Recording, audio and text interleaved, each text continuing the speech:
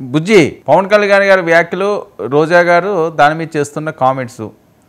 చేత కాకపోతే దిగిపోండి మీకు పాలన చేత కాకపోతే. పాలన ఎలా చేయాలన్నది కూడా ఆవిడ చెప్తున్నారు. ఆమె ఎలా చేయాలి మీరే కీర్తన గారికి అలాగే పెద్దలందరికీ గుడ్ ఈవినింగ్ అండి. ఒకటే సార్ రోజా గారి మాటలని మన ఎవరు తీసుకోవాల్సిన పనే లేదు. ఎందుకంటే గతంలో వాళ్ళ పరిపాలన చూసి ప్రజలందరూ వాళ్ళకి ఎన్ని ఎన్ని ఓట్లు వేయాలనేది అది వేశారు. దాన్ని వదిలేయండి. ముందుగా పవన్ కళ్యాణ్ గారు మాట్లాడిన మాటల గురించి. పవన్ కళ్యాణ్ గారు అన్న మాటలకి అందరూ వాస్తవంగా కూటమిలో ఉన్న ఏ వ్యక్తులకు కానీ ఏ నాయకులకు కానీ కనీసం కార్యకర్తలు కూడా ఇబ్బంది లేనప్పుడు ఈ వైసీపీ వాళ్ళు ఏదో రాజకీయం చేయాలనే ఉద్దేశంతో దురుద్దేశంతో ఈ ప్రెస్ మీట్లు పెట్టడం ఇవన్నీ. ఇప్పుడు దాకా ఎక్కడ పారిపోయిందో రోజమ్మ మరి కొత్తగా ఇవాళ ప్రత్యక్షమైంది.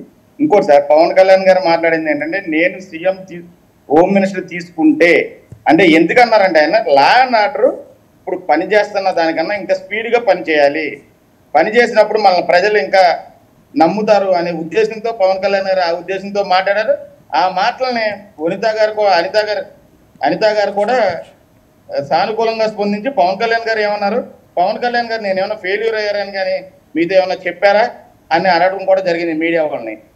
దయచేసి నేను చెప్పేది ఏంటంటే పరిపాలన అనేది సిక్స్ మంత్స్ అయింది. స్టార్ట్ చేసేళ్ళు ఐదు నెలలు పూర్తి ఆరు నెలలు ఉన్నారు.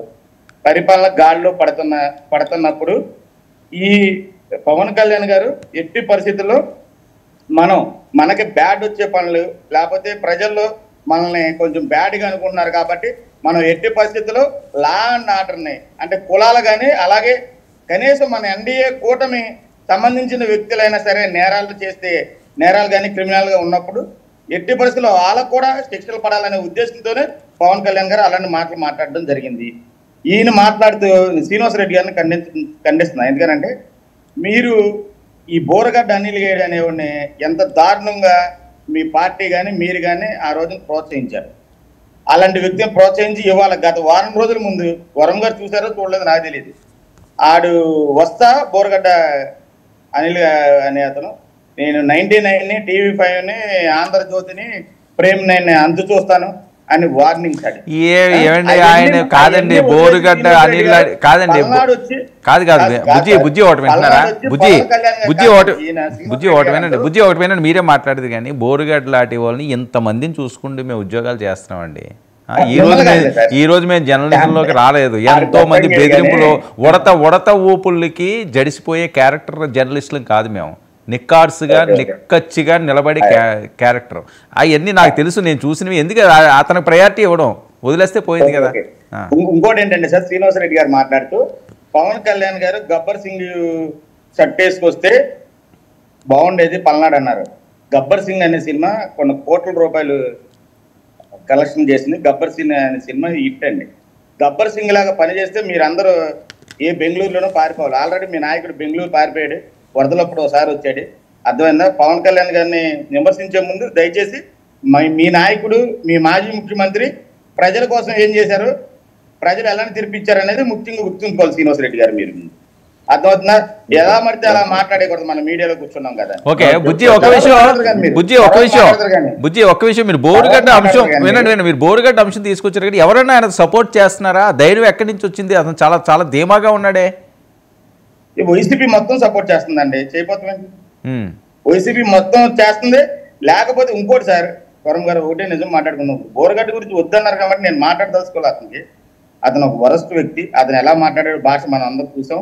అది కూడా పవన్ కళ్యాణ్ గారు మొన్న ఎత్తడం జరిగింది మీటింగ్లో. ఇలాంటిది దౌర్భాగ్యం ఇలాంటి భాష మాట్లాడిన వ్యక్తులను కూడా మీరు సరిగ్గా ట్రీట్ చేయలేకపోతున్నారే అని. ఎందుకనంటే నేను ఒకటి చెప్తున్నాను సార్ కోడి కత్తి సీల్ను అతనికి ఏమీ లేకపోయినా ఎవరు చేయించారో మన అందరికీ తెలుసు.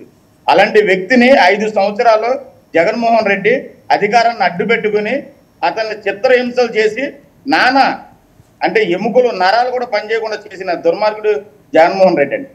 అలాంటి అధికారాలని అధికారాన్ని దుర్వినియోగం చేసిన వ్యక్తి ఎవరైనా ఉన్నారంటే జగన్మోహన్ రెడ్డి గారు. అతను వాళ్ళ నిర్దోషిగా బయటపడటం జరిగింది. అలాంటి నిర్దోషులనే వైఎస్ఆర్సీపీలో కఠినంగా వ్యవహరించారు వ్యవహరించారో. మనం కనీసం దోషులు కూడా శిక్షించలేకపోతున్నాం అనేది పవన్ కళ్యాణ్ గారి ఆవేదన తప్ప పవన్ కళ్యాణ్ గారిని ఎవరిని విమర్శించలేదు. ఎవరిని విమర్శించకూడదు ఎందుకంటే ఎన్డీఏ కూడా ఇలాగే కొనసాగుతుంది. శ్రీనివాస్ రెడ్డి గారు మీరేం కంగారు పడమండి ఎన్డీఏ కూటమి కలిసికట్టుగానే ఉంటది.